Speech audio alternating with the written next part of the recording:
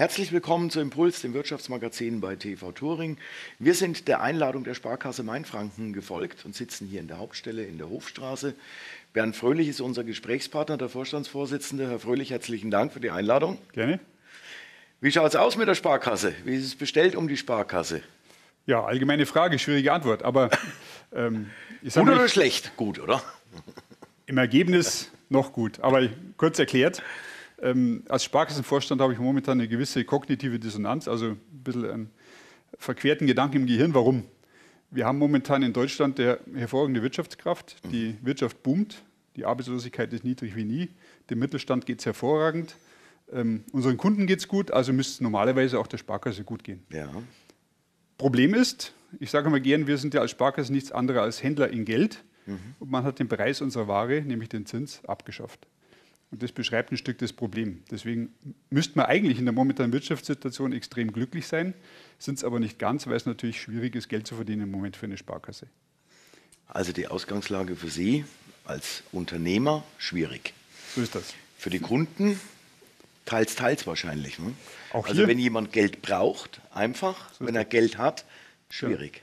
Auch hier die Medaille zwei Seiten. Für ja. den Sparer ist es schlecht, weil es keine Zinsen mehr gibt was natürlich auch so Themen wie Altersvorsorge ansparen schwierig mhm. macht für die Kunden. Aber Sie sagen es richtig, freuen tut sich der, derjenige, der Kredit aufnimmt. Der Häuslebauer ja. kann natürlich momentan seine Wohnung, sein Haus so billig finanzieren wie nie. Trägt die Sparkasse ihren Namen noch zurecht, mal etwas provokativ gefragt, nachdem es ja keine Zinsen mehr gibt? Mhm. Ist der Deutsche nach wie vor noch so gepolt, dass er sagt, ich lege mein Geld aufs Sparbuch, aufs Sparkonto? Das ist erstaunlicherweise noch so. Der Deutsche spart nach wie vor. Wir haben im Beispiel im Jahr 2016 einen der höchsten Zuwächse überhaupt gehabt. Wir haben fast 8% Wachstum in den Einlagen gehabt. Ähm, also obwohl es keinen Zins mehr gibt, ja. die Deutschen sparen noch. Leider muss man auch sagen, tendenziell falsch. Denn ähm, jüngst war erst eine Statistik veröffentlicht von der Europäischen Notenbank, die war ganz interessant, aus der sich ergibt, dass ein durchschnittlicher Italiener oder ein durchschnittlicher Spanier ein höheres Vermögen hat als ein durchschnittlicher Deutscher. Mhm. Da kommt man zunächst ins Nachdenken. Ja. Wie gibt es das? Weil den Staaten geht es ja genau andersrum. Ja, ja. Ähm, das liegt aber daran, dass der Deutsche weit überwiegend in Geldanlagen, also in Tagesgeldanlagen, in sicheren Staatsanleihen anlegt und viel zu wenig eigentlich in Aktien, Immobilien und Rohstoffe. Das heißt, da kommen Sie natürlich dann auch äh, ins Spiel als beratende Bank. So ist das. Das ist unser Job, dass wir unsere Kunden aufklären. Das tun wir jetzt auch sehr stark. Denn wenn ich in den momentanen Zeiten, wo ich ja überhaupt keinen Zinsen mehr bekomme, und nach Inflation das Geldvermögen ja eher an Wert verliert. Das mhm. heißt, die risikolose Anlage gibt es nicht mehr. In der Zeit muss man natürlich viel mehr darauf schauen, welche Anlagestrategie, welche Diversifikation passt zum Kunden. Müssen die Sparer der Sparkasse Mainfranken mhm. mit einem Strafzins rechnen? Also die, die, privaten Sparer nein. Ähm, dafür sind wir Sparkasse.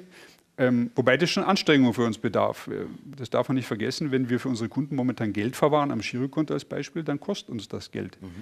Wir können zwar mit dem Geld arbeiten, wir können es als Kredite vergeben, aber nicht alles. Nur ein ja. Beispiel, wir haben über, sechs, äh, über sieben Milliarden Einlagen unserer Kunden, haben aber momentan knapp fünf Milliarden an Krediten draußen. Also zwei Milliarden müssen wir irgendwie anders am Markt ja, anlegen ja. und das kostet uns momentan Geld. Was erwarten Sie sich von der Politik? Ja, die, Poli her.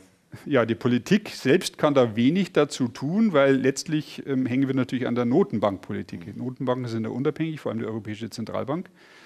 Ähm, für Deutschland müsste ich mir wünschen einen viel höheren Zins. Ja. Die niedrigen Zinsen passen zu Deutschland auch nicht.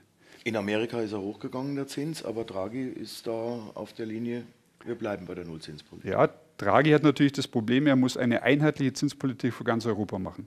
Und in dem Maße, wo der Zins für Deutschland eigentlich viel zu niedrig ist, ist er zum Beispiel für Italien und Griechenland fast immer noch zu hoch. Und das ist das Dilemma von Herrn Draghi. Ähm, damit ist aber gleich beschrieben, dass wir nicht damit rechnen, dass die Zinsen zumindest in diesem oder nächsten Jahr nach oben gehen werden, weil gerade die hochverschuldeten Südländer können es sich gar nicht leisten. Machen wir einen kleinen Sprung.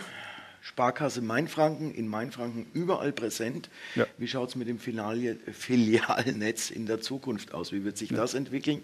Wo gehen da die Trends hin? Ja.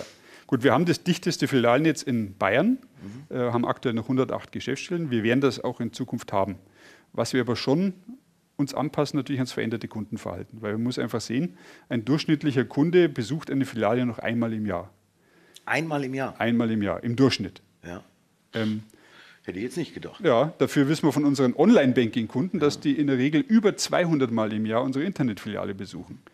Also da hat sich Kundenverhalten auch geändert. Ja. Und das Zweite, was sich verändert, dass einfache Tätigkeiten, einfache Serviceleistungen immer mehr durch Digitalisierung abgelöst werden. Es wird auch immer einfacher. Ich könnte Ihnen zum Beispiel nachher, wenn Sie, zeigen, wenn Sie wollen, mal zeigen, wie einfach so eine Überweisung geht. Eine Rechnung, die kann ich heute abfotografieren mhm. und dann über ein Push-TAN-Verfahren mir sofort im Handy eine TAN generieren und das ist in 30 Sekunden erledigt, ähm, so eine Überweisung.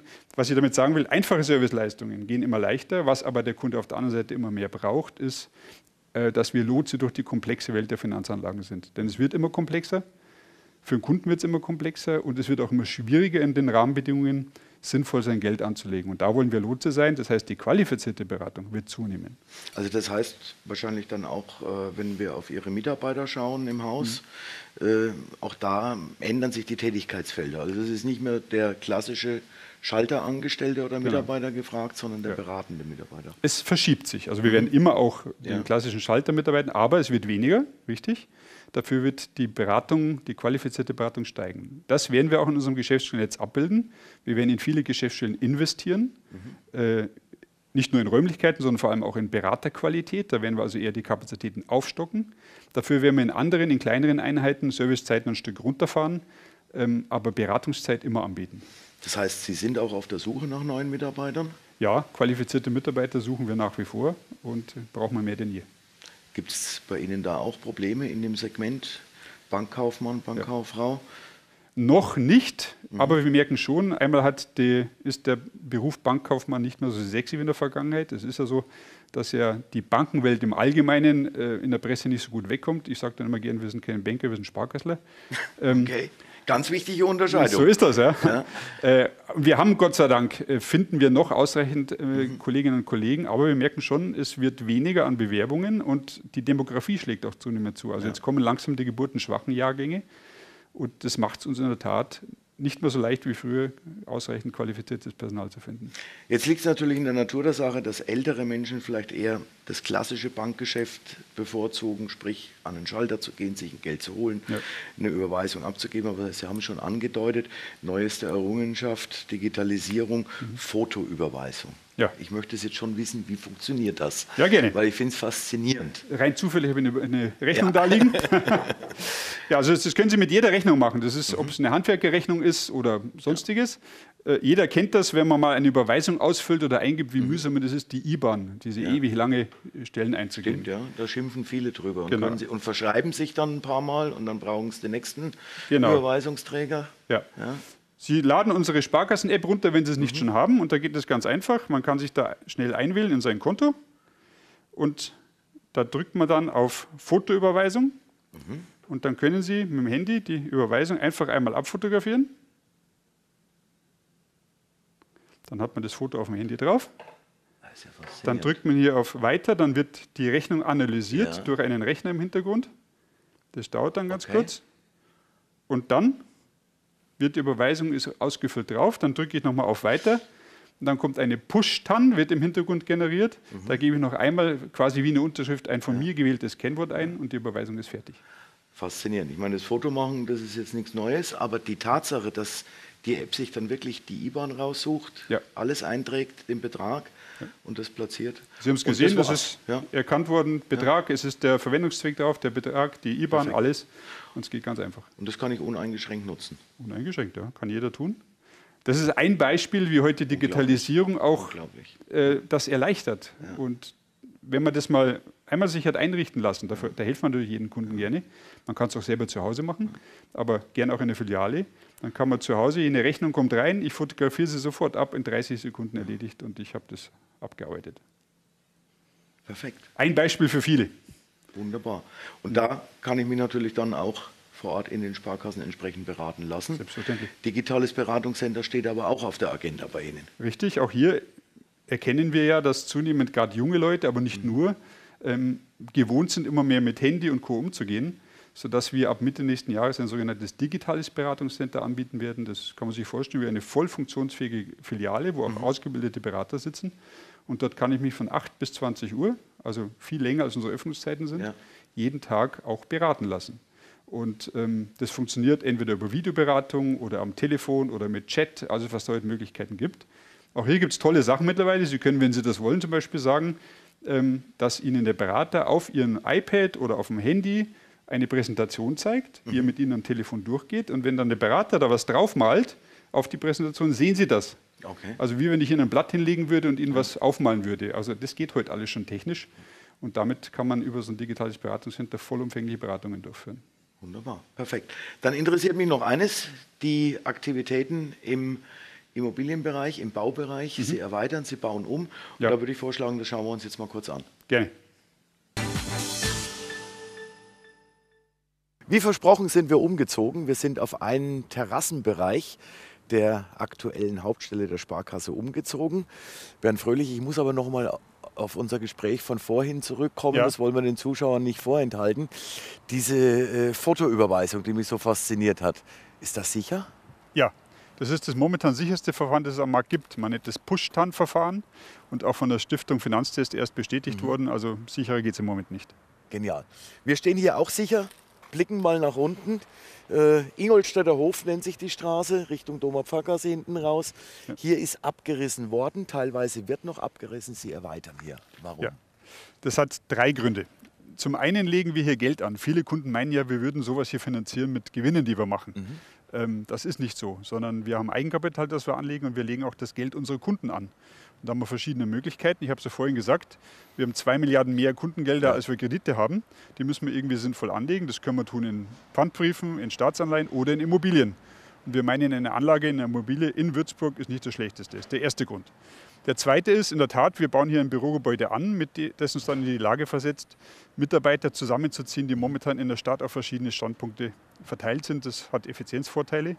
Und das dritte ist, dieses Gebäude, wie Sie es hier sehen, ist momentan, der Fachmann sagt dazu, multitenantfähig. Also nicht multitenantfähig heißt nichts anderes, als dass man Teile abgrenzen könnte und an andere Mieter vermieten kann. Mhm. Das könnten wir momentan nicht aus Sicherheitsgründen. Und wir werden hier einen zentralen Eingangsbereich bauen, der uns auch in die Lage versetzt, dass man zum Beispiel einzelne Flügel dann abtrennt und mhm. vermietet, wenn wir die Räume nicht selbst nutzen würden. Also eine höhere Flexibilität so und damit äh, vielfältig aufgestellt für die Zukunft. Ganz ich glaube, genau. äh, die Einschätzung, wie sich die Geschäfte entwickeln, ist auch für Sie immer schwieriger geworden. Ne? So ist das. Wir, keiner kann momentan sagen, wie sich die Zinsen entwickeln ja. werden, wie lange wir mit dieser Niedrigzinswelt noch leben, wie sich die Sparkassenwelt weiter verändert, die Bankenwelt. Und insofern sind wir gut beraten, hier eine Gebäudlichkeit zu haben, die flexibler ist als bisher. Ein Teil ist schon abgerissen, haben wir gesehen. Ja. Aber auch hier, äh, sage ich mal, ist die, der Kostendruck für Sie natürlich riesengroß. Nicht nur für Sie mhm. alleine, ja. für alle Bauherren. Wenn wir das Gebäude im Hintergrund sehen, das wird jetzt einzeln zerlegt. Ne? Ja, heutzutage ist es nicht mehr so, dass die Abrissbirne kommt, ja. dann gibt es einen Haufen, der wird weggeschafft, sondern es wird wirklich teilweise mit der Hand, wenn man das beobachtet hat, Ziegel werden mit der Hand zum Teil abgenommen, Holz wird getrennt, die Fenster werden jetzt noch rausgenommen, also wirklich alles einzeln entsorgt. Und das macht es in der Tat aufwendiger und teurer. Ja. Eine der großen Stellen, die dann verschwinden wird als Niederla beziehungsweise als Niederlassungs- in Anführungszeichen Bereich der Sparkasse ist die Ludwigstraße. Das kommt dann alles hier mit rein. Die Kolleginnen und Kollegen, die dort untergebracht sind, ja. kommen dann hier rein. Mhm. Und was wir auch hier machen momentan, ist ja die Kundenhalle auch modernen Anforderungen ja. anpassen. Sie haben, wenn Sie die alte gesehen haben, ist auch riesig groß und auch zum Teil dunkel. Also hier werden auch die Bereiche für die Kunden deutlich moderner, schöner und heller werden. Gut, wunderbar. Wann soll das Ganze fertig sein, wenn die Ziegel mit der Hand abgedeckt sind? Also der Neubau, der Neubau soll stehen, wenn alles ja. planen verläuft, so Mitte 2019. Aber bis mhm. dann auch hier in dem Haus alle Anpassungen fertig sind, wird es bis 2020, vielleicht bis 2021 dauern. Wunderbar. Bernd Fröhlich, vielen Dank, dass Sie sich Zeit für uns genommen haben. Gerne. Ich denke, liebe Zuschauer, auch für Sie war es eine sehr interessante Sendung. Und wie wir eingangs schon gesagt haben, die Sparkasse Mainfranken bleibt die Sparkasse Mainfranken. Es wird immer noch gespart. So ist das. Unternehmerisch ist es ein bisschen schwieriger geworden, aber, aber auch das, das wird gemeistert. Herzlichen Dank. Vielen Gerne. Dank für Ihr Interesse. Schönen Abend.